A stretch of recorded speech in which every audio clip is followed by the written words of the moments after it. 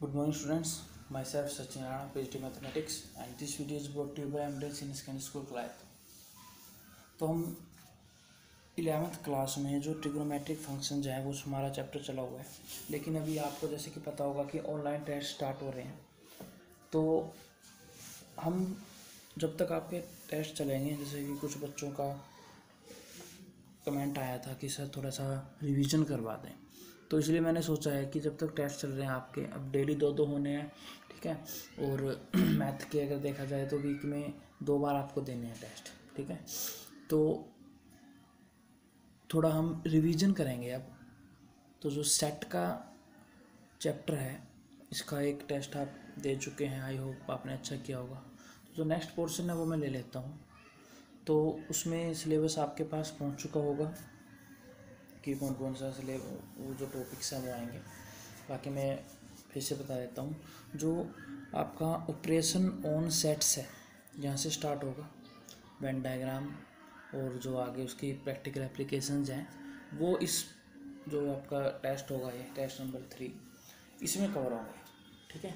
और अगर आप एन की बुक से पढ़ रहे हैं तो आपके जो लास्ट की थ्री एक्सरसाइजेज हैं फोर फाइव और सिक्स वो इस जो टेस्ट है, इसमें कवर होंगे। ठीक है? तो चलिए हम स्टार्ट करते हैं। ऑपरेशन ऑन सेट्स ये मैं revise type of you can say that is the revision work ये रिवीजन है। इसकी पूरी डिटेल के लिए आप, क्योंकि मैं ऑब्वियस है कि रिवाइज ही करवाऊँगा। अगर आपको पूरी एक्सप्लेनेशन जो कि मैं वीडियोज़ हैं आपकी सेट की, उसमें आप उनकी हेल्प लीजिए, आपको कंप्लीट समझ में आ जाएगा। ठीक है? तो अब मैं चाह रहा हूँ कि एक दिन के अंदर रिवाइज करा दूँ आपको थोड़ा। देखिए ऑपरेशन ऑन सेट्स तो ये टॉपिक आपका आएगा। तो ऑपरेशन में हमने सबसे पहले देखिए क्या पढ़ा है यूनियन तो यूनियन में क्या होता है कि जब भी दो सेट का अगर हम यूनियन करते हैं तो हमें उन दोनों के एलिमेंट्स को इकट्ठा करके लिखना है। इकट्ठा मतलब यहाँ पे मैं ऐड मतलब प्लस नहीं कर रहा हूँ, इकट्ठे लिख देना है ए को और बी को भी। जो कॉमन है, वो सिर्फ़ एक ही बार आएँगे।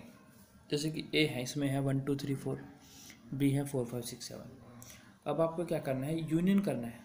ठीक है, ये इसका सिंबल होता है यू तो ए यूनियन बी का मतलब है दोनों को इकट्ठा कर दिया।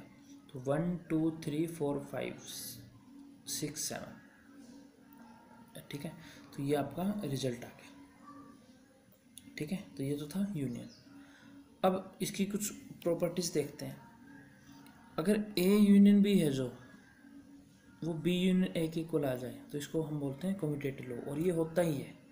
ये कंडीशन है, ध्यान रखिए कि ए का और बी का यूनियन करें अगर हम, या बी का ए से करें, एक ही बात है तो दोनों का रिज़ल्ट क्या आएगा? सेम आएगा। That is called the competitive law means A union B is equal to B union A आप इसी में देख सकते हैं, अगर आप, मैं बी को और ए को यूनियन करूँ तो आप क्या आएगा? तब भी result four five six seven one two three four ही तो आएगा।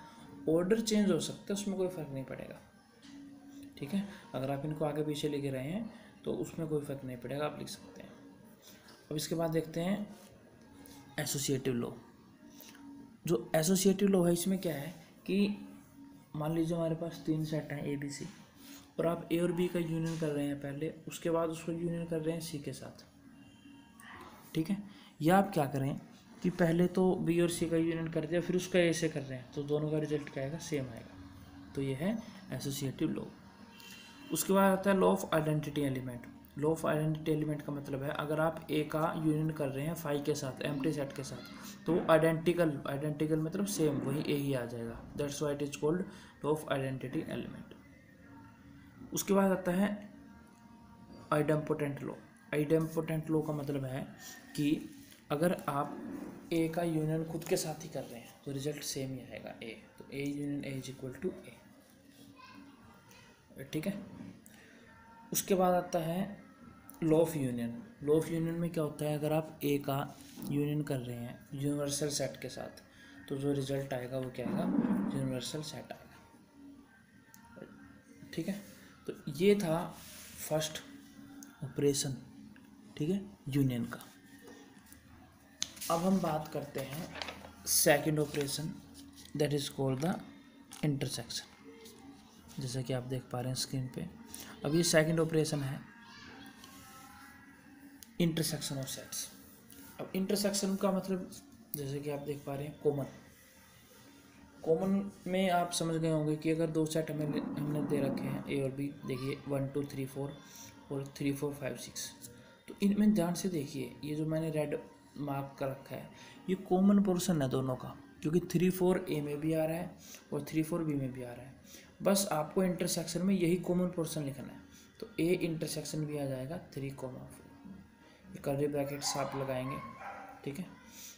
और इसका जो सिंबल होता है इंटरसेक्शन का यू को उल्टा करके लिख दीजिए ए इंटरसेक्शन भी बन गया थ्री कोमा फोर ठीक है? तो समझ गए होंगे आप कि जो इंटरसेक्शन है, इसमें हमें क्या लेना है? कॉमन एलिमेंट्स लेने हैं, जो दोनों में हो। अगर कोई भी कॉमन ना आए तो आप फाइव लिख फाइव लिख दीजिए खाली एम टी सेट बना दीजिए, अगर कोई कॉमन ना आए। ठीक है? और ऐसे सेट जिनमें कोई भी कॉमन ना हो, उनको डिसजॉइंट सेट बोलते हैं। ठीक है? अगर ए इंटरसेक्शन भी फाइव आ जाए it means we can say that A and B are disjoint मतलब उसमें कोई भी ज्वाइंट नहीं है मतलब कोई भी कॉमन नहीं है। अब बात करते हैं कॉम्पिटेटिव लॉ की। कॉम्पिटेटिव लॉ में देखिए ए इंटरसेक्शन बी क्या है? बी इंटरसेक्शन ए ये दोनों क्या होंगे? इक्वल आएँगे। इसमें आप ये एक चीज़ लिख भी सकते हैं कि if A intersection B is equal to five अगर ये क्या आ जाए? फाइव आ जाए तो A and B are called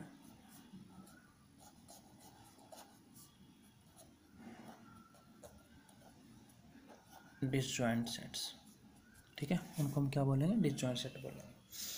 अब देखते हैं, जो इसकी प्रॉपर्टीज़ है first commutative law commutative law जैसे कि पिछली प्रॉपर उसमें किया था ऑपरेशन में हमने यूनियन के ऐसे इंटरसेक्शन में है। अगर आप ए और बी का इंटरसेक्शन कर रहे हो या बी का ए का साथ कर रहे हो, ठीक है? तो मैं बता चुका हूँ ऑर्डर से डिफरेंस कुछ भी नहीं पड़ेगा। वन टू अगर ए के एलिमेंट हैं टू थ्री बी के एलिमेंट है तो ए इंटरसेक्शन बी भी टू आएगा और बी इंटरसेक्शन ए भी टू ही आएगा। तो ये ए इंटरसेक्शन भी इक्वल होता है किसके? बी इंटरसेक्शन ए के। तो ये है कॉमिटेटिव लॉ ठीक है? उसके बाद देखिए एसोसिएटिव लॉ एसोसिएटिव लॉ में क्या है कि अगर आप ए और बी आपके पास मान लीजिए तीन सेट है, आप ए और बी का इंटरसेक्शन कर रहे हैं फिर उसका सी के साथ कर रहे हैं या पहले आपने बी और सी का इंटरसेक्शन कर दिया, उसका किसके साथ कर दिया इंटरसेक्शन ए के साथ। तो रिज़ल्ट क्या आएगा? सेम आएगा। That is called associative law ठीक है?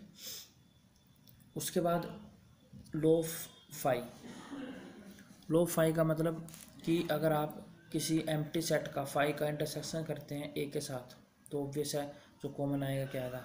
एम सेट ही आएगा, खाली आएगा। तो क्या आंसर आएगा इसका? फाई आएगा।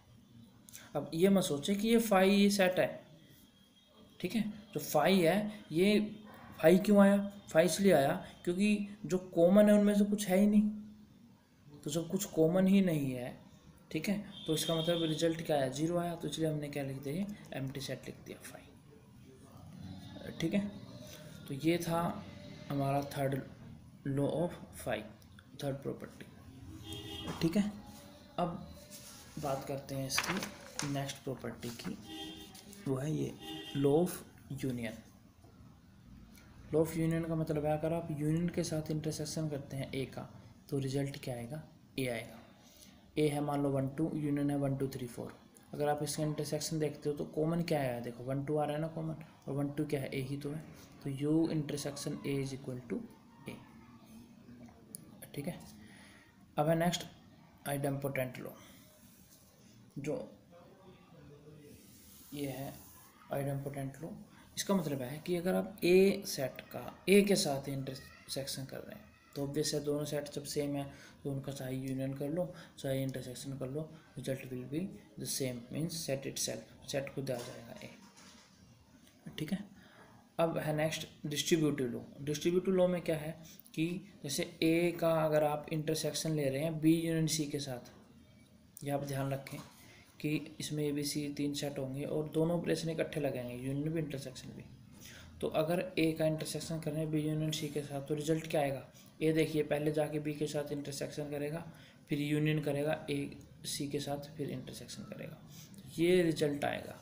तो इसको हम, आप ये बोल सकते हो इंटरसेक्शन डिस्ट्रीब्यूट्स ओवर यूनियन ठीक है? आप इसमें सिंबल चेंज भी कर सकते हो अगर यहाँ आप यहाँ पे यूनियन करते हैं इंटरसेक्शन करते हैं, उसके अकॉर्डिंग यहाँ पे सिमेट्री वाइज ये भी चेंज हो जाएगा। ठीक है? तो ये था हमारा जो ऑपरेशन ऑन सेट्स ठीक है? अब एक आता है इसमें वेन डायग्राम है पोर्शन वो हम नेक्स्ट वीडियो में कवर करेंगे। ठीक है? तो आई होप आपको समझ में आ गया होगा। तो घर पे रहिए, स्वस्थ रहिए सेफ़ रहिए। और प्रैक्टिस करते रहिए। ठीक है? Thank you very much